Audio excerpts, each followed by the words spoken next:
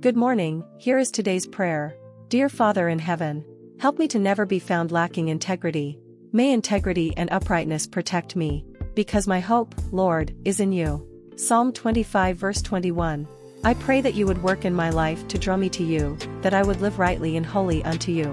Please help me to always be a person full of integrity.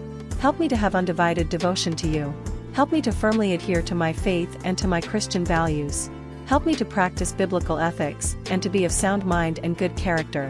Father God, I pray for my loved ones, that each one would come to know, love, follow, and serve you.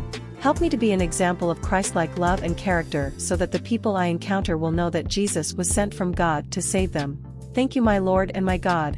In the powerful name of Jesus I pray. Amen. The Holy Spirit, the Spirit of truth. And I will pray the Father. And he will give you another helper. That he may abide with you forever. The Spirit of truth. Whom the world cannot receive. Because it neither sees him nor knows him. But you know him. For he dwells with you and will be in you. John 14 verses 16 to 17. The Holy Spirit is the Spirit of truth. Jesus sent him to indwell all believers to witness to them what is truth. There is much error in the world today in advertising, in business, and in human relationships. Jesus sent the Holy Spirit into your life to reveal divine truth to you. People who refuse to believe in Jesus do not know the truth. They think they're right about spiritual things, yet because they deny Jesus, they don't know the truth.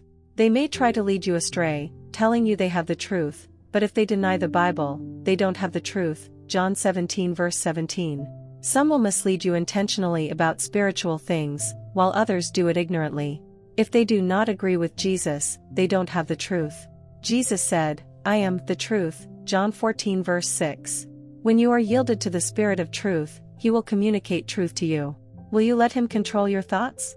Holy Spirit, be my guide. I seek truth in the Bible, John 17 verse 17, and I seek truth in Jesus, John 14 verse 6. The Spirit of truth is sent to live in you forever. He was not sent to help you occasionally, nor intermittently. Rely on the Spirit of truth to guide you at any time, and all the time, no matter what issues you face. The Spirit of truth will help you understand the Bible and Jesus.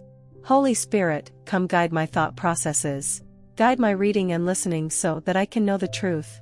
I yield to your instruction. Amen.